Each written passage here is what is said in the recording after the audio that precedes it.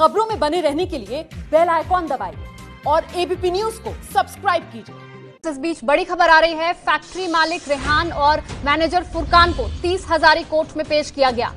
Police ने चौदह दिन की रिमांड की मांग की है। पुलिस का कहना है कि प्रॉपर्टी किस किस को किराए पर दे रखी है, इसकी जाँच के लिए रिमांड चाहिए। मृतकों की पहचान के लिए रिमांड की ज़रूरत है। अभी कोर्ट में सुनवाई चल रही है।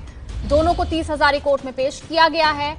और बड़ी खबर, बड़ा अपडेट ये है कि पुलिस ने रिमांड की मांग की है। फैक्ट्री का मालिक रेहान और मैनेजर फुटकान दोनों को कोर्ट में पेश किया गया है और पुलिस की तरफ़ से दोनों की रिमांड की मांग की गई।